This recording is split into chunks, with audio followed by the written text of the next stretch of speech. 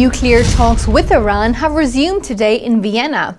Iran's supreme leader and a senior US administration official have both played down the talks, believing they will be a complicated and lengthy process that will most likely not lead to a deal.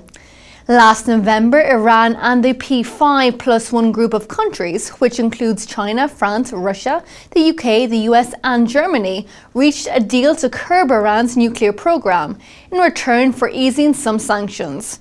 As part of this agreement, negotiators have six months to reach a permanent deal. Mark Fitzpatrick said it's going to be very difficult for them to reach a comprehensive solution by July. There will be those who accuse the government of appeasement and a failure as a result.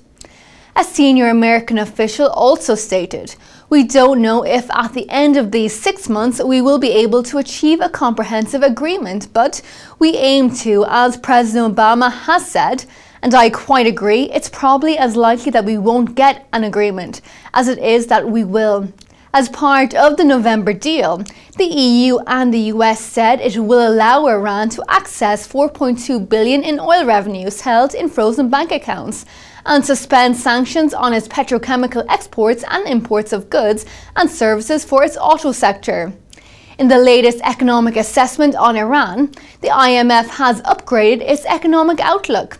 It expects to see growth of about 1 to 2% this year, due to November's agreement and the ongoing talks.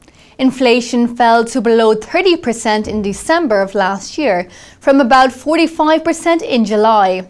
The IMF now expects inflation to drop to as low as 15% in the 12 months from March. It still believes the country is in urgent need of major reforms for an economic recovery. However, the Obama administration has said the sanctions reprieve would provide only limited economic relief to Iran estimating the total value at around 7 billion. The supreme leader of Iran yesterday expressed his support for the nuclear negotiations, but he still believes tensions will continue between the two countries, saying in a public statement, but all should know that the US hostility is with the Islamic Revolution and Islam, and this hostility will not end with the negotiations.